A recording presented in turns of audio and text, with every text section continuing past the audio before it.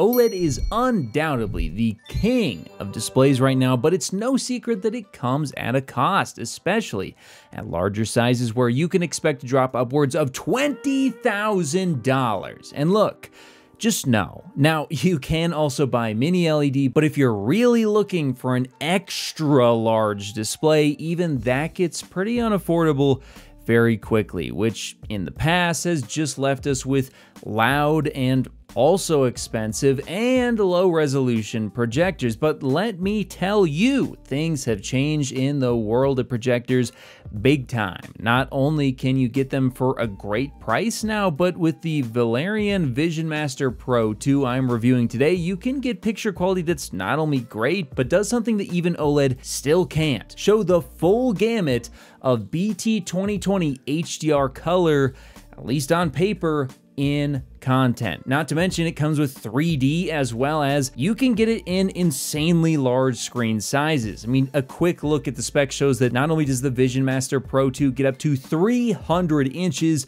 but it has 110% Rec 2020 coverage, far above even the best displays in the market today, which typically land closer to 80%, which in theory should allow for the most rich colors that you'll probably ever see.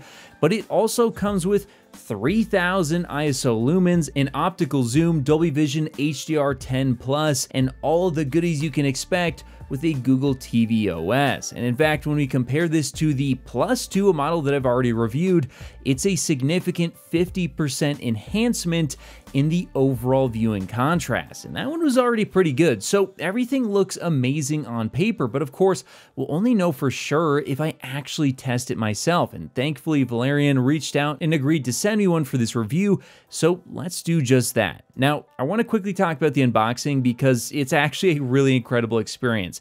Everything is super premium and it's such a joy to unbox and really makes it feel like you're having an experience rather than a chore, something I can't say for some of the very heavy TVs that I've unboxed in the past. And to make everything better, once you get it out of the box, well, I gotta say, the actual design itself, and I don't say this often, it is so premium. It's incredibly well designed with the glass on the front and the metal finish on the edges. It's something that you could definitely put in a room and actually enjoy to look at rather than a cheap plastic eyesore, which is great because you might have it sitting right in the middle of your room. Now, thankfully, after you're done ogling this thing, I mean, come on, let's talk about the actual performance here. You're not gonna be looking at it all day. Well, the setup is thankfully also very easy. I'm a huge fan of the Google OS that they chose to use. Many other TV makers use it, and I love it. It's super easy to set up. It doesn't have all kinds of required sign-ins, and you can get going without all kinds of crazy spyware in the background, which is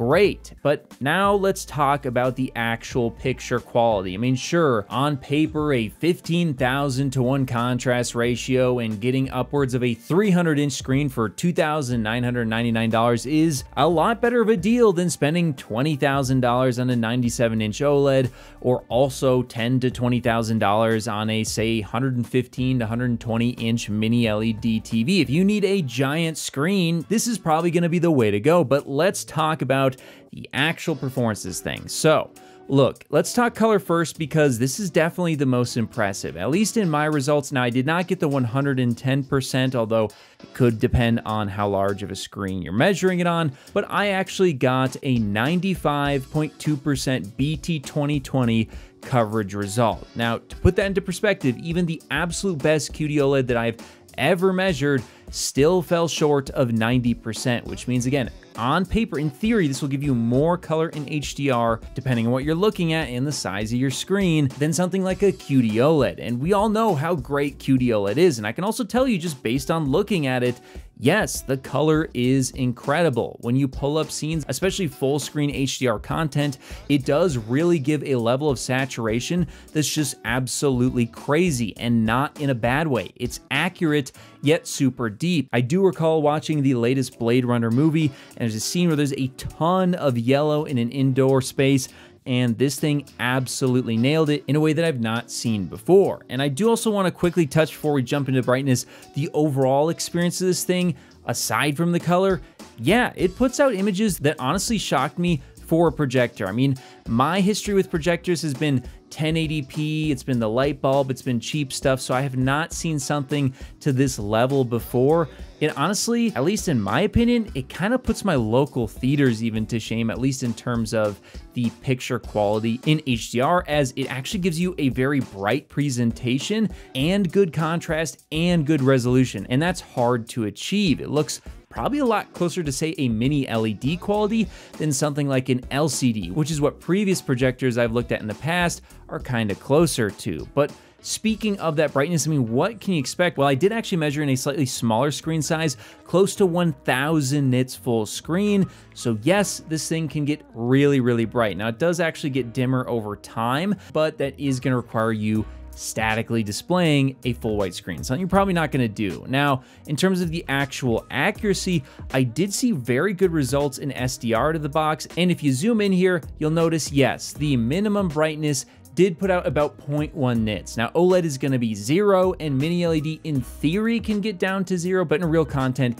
is going to be somewhere between something like this and an OLED screen but they do have a feature called EBL or Enhanced Black Level. And when I enabled that, it actually dropped the minimum black reading all the way down to 0.0475 nits. Now that is an incredibly good result for a projector, especially in this price range, and did make for some, again, I'd say a lot closer to mini LED-esque type of viewing depending on the content. Now, you are not going to see, say, a 15,000 to 1 ratio as they advertise in real content, as the way they measure that is likely full black versus full white, but still, it is a very, very good result, and even the accuracy both in SDR as well as, as you can see here in HDR was pretty decent, although the HDR did require a few changes to get it to follow the EOTF curve properly. Out of the box, it was a little bit raised on the highlights, which did blow out a few things. And even in the color accuracy test that I did in SDR,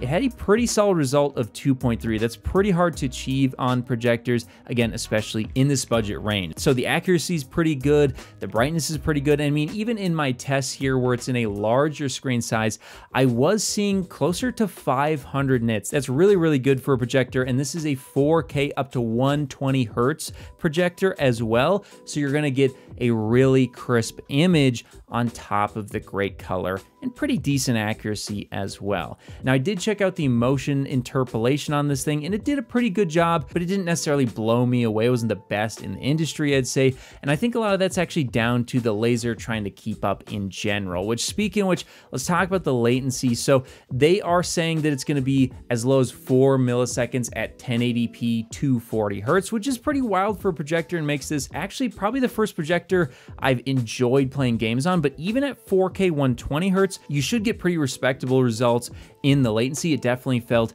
pretty responsive to me, especially for a projector, even when using a mouse on a PC. And in fact, in the motion performance here, you'll see that at the 120 hertz refresh rate, this is very, very impressive stuff for a projector. Yes, it is worse than an OLED, and yes, it's even worse than some of the better mini LEDs.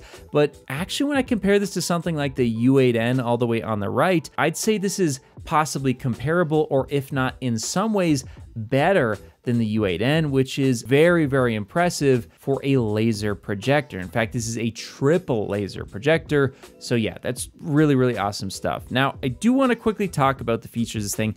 It comes with 3D. Now, I was expecting this to be kind of a gimmick. I was expecting it to not be that good. I throw on the glasses, and let me tell you, when you have the content, which, look, you're not always going to have the content. It is actually very good. It, in fact, it was surprisingly good. It was way better than I expected, and it really felt like I was in a theater. I'll show you some images here, her video of me like actually reaching out to grab things. This was really, really good stuff, actually, and it's hard to even describe. You kind of got to use it to understand it, but just think of it as probably maybe the best 3D experience you've had at a theater, it's like that, except for the image quality is probably higher than those memories you have. Now, we've glazed this thing enough. I mean, it has a lot of things about it that are very good, and these are honest opinions of mine, guys. I'm not being paid to give it a good review or anything like that. It does have some issues, and that's what I want to talk about right now. Look, with projectors, they're not going to be perfect. First of all, if you turn the lights on, it everything just goes to hell. I mean, let's be honest, you're going to get a terrible, awful image in a bright room. So this is a dark theater room only. And the other thing is, depending on the screen that you choose, you can get some grain and you can also get very poor viewing angles. Now, this is gonna be highly dependent on the screen you use, but the screen I use, which prioritized the higher brightness when viewed direct on, had those issues of grain and poor viewing angles. In fact, it really fell off a cliff with the viewing angles when you went to a pretty severe angle. So if you're trying to get the max brightness out of something like this, just be aware you'll wanna be facing it directly. Now, in terms of the audio, it does have audio. The audio that comes out of it is decent. It's nothing special. But I will say one other thing about it that I did really like before we wrap this up that has to do with audio, and that's the sound of the projector itself. It is honestly near silent, and that's hard to come by. That's a huge accomplishment from Valerion and I have to give him props. That can actually be a deal breaker when it's bad, and thankfully here it's great. And in fact, I also want to mention on the Plus 2 on older firmware, I actually had some VRR flicker where I didn't really see it on my model. Maybe I got lucky, but there you have it. Oh, I also want to mention one more thing is yes, you are going to have some issues potentially with text fringing as it's a triple RGB laser, so there could be some red fringing or green fringing on the edges of text. But overall, this is really excellent value. I mean, I'm not sure if there's any other display or projector on the market right now that can compete with the price of this thing for people who are looking to fill a very large area with a very large screen. And the HDR picture, while flawed out of the box, it can be fixed and it is overall a huge step up over a lot of projectors that I've seen in the past, especially more budget oriented ones that I've personally come into contact with. So overall, I think I'm gonna give this thing, you know, it's tough to give a score to something like this, but I think I'm gonna have to give it, when compared to other projectors that I've seen, a solid 8 out of 10. It's giving you a great image, it's giving you a great price, and a whole lot of features that I think are tough to beat in its particular category. Also looks like they're doing some pretty significant Father's Day sales right now, so if you're thinking about buying one, right now might be a good time. Whether you're looking to connect a new console, gaming PC, or just need a fast and reliable HDMI cable to connect over long distances, Ruipro has you covered with their certified 8K HDMI 2.1 fiber optic cable available in sizes of up to 50 feet and can deliver a perfect full 48 gigabits per second connection over distances other cables could only dream of reaching. And with 48 gigabits per second of bandwidth, it can easily drive 8K 60 FPS or 4K 144 FPS 10-bit HDR video through its ultra-thin, flexible, durable housing, and it even supports ER. So if you're in the market for a cable that can drive a beautiful new TV or monitor, be sure to check out Ruipro on Amazon today.